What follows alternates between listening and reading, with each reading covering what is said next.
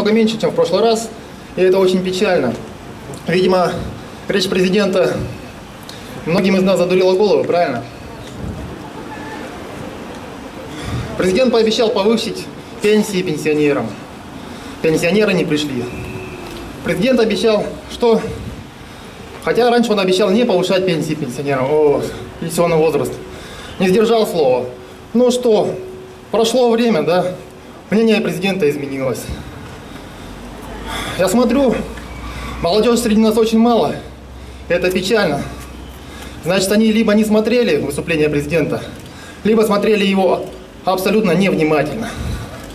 Потому что, кроме того, что повы будет повысен, повышен пенсионный возраст, также повышается и минимальный стаж, необходимый для выхода на пенсию. Я смотрю, никто этого не заметил, да?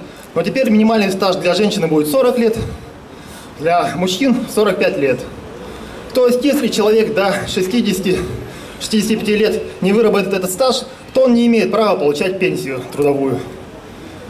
О чем это может говорить? Это говорит о том, что все образованное население нашей страны остается без пенсии. Я понимаю, те люди, которые жили в советские времена, возможно, смогли отработать этот стаж 40-45 лет, да?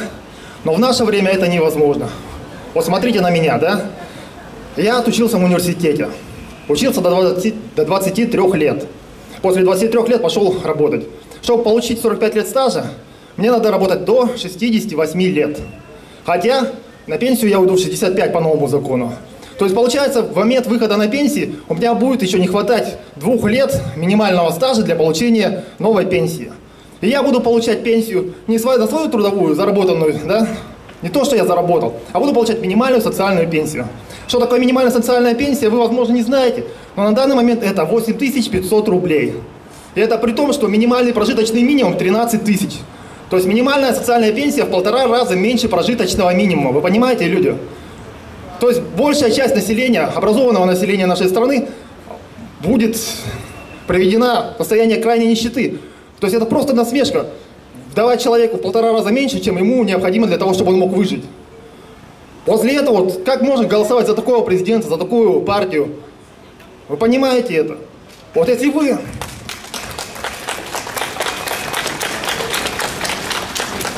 Вот если вы, старшее поколение, еще, возможно, сможете уйти на нормальную пенсию, то молодежь, ваши дети, даже ваши внуки, те люди, которым вы с таким трудом давали образование, на пенсию уже не выйдут, потому что у них просто не будет хватать стажа. Я понимаю, что существуют работы, где стаж идет год за полтора, год за три, да? Например, на, ехать всем работать на крайний север, что ли, после института, чтобы получить возможность 65 лет выйти на пенсию? Или что? В полицию? О, кстати, хорошее слово, да-да-да. Я забыл вам сказать, есть такое, вы же, наверное, еще не знаете, есть новый законопроект. Пока он еще не особо освещен в СМИ, но он грядет, товарищи, да? Вы знаете, даже этим силовикам нашим решили отменить льготный пенсион. Это сейчас они выходят на пенсию через 20 лет выслуги.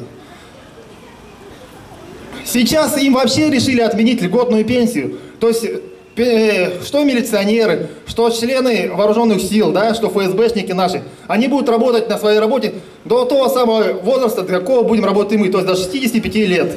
И мне очень интересно будет представить, как в 67 лет, в 64 года будут по улицам ходить ППСники с палочками и с автоматами. Вы представьте, патрулируют, патрулировать ур, наши улицы нашего города с палочкой и автоматом, да? Это очень интересно. Нет, я, конечно, понимаю, что они не будут доходить до такого маразма.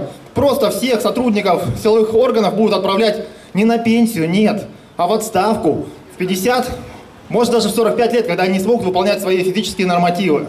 После чего эти люди присоединятся к нам, к толпе безработных. Путин очень много говорил про то, что будут создаваться новые рабочие места для пенсионеров, для людей предпенсионного возраста. Но почему он ни слова не сказал, что даже для молодежи в нашей стране зачастую рабочих мест нету? Представляете? То есть мы, молодые люди, не можем устроиться на работу, на пенсионерам рабочие места найдутся, да? То, что пенсионеры будут на 5 лет больше работать, это означает, что для молодежи еще на 5 лет работы не будет. Это что говорит? Это говорит о том, что он решает одну проблему, нехватку денег в бюджете сейчас, а за счет чего? За счет того, что уничтожает страну полностью в будущем. Спасибо, товарищи.